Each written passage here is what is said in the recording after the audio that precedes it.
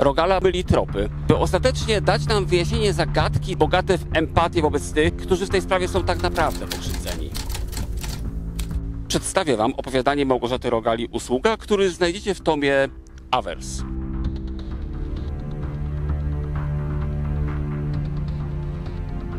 Usługa Małgorzaty Rogali skupia się w istocie na problemie przemocy wobec kobiet psychicznej i fizycznej.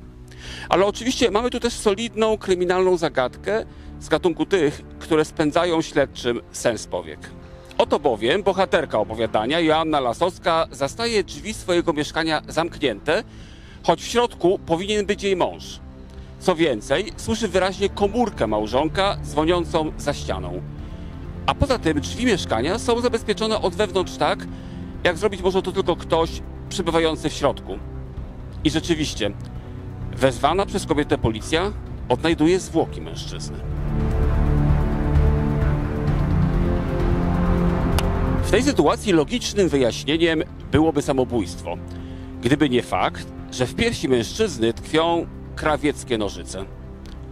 Rogala po mistrzowsku myli tropy, by ostatecznie dać nam wyjaśnienie zagadki bogate w empatię wobec tych, którzy w tej sprawie są tak naprawdę pokrzywdzeni.